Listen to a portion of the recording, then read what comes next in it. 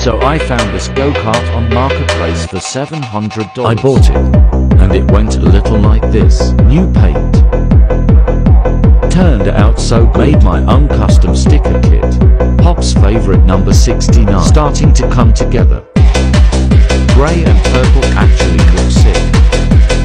New carby and fuel lines. Installed custom start button.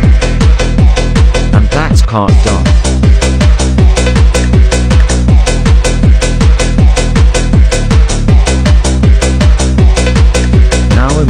pick up your girl.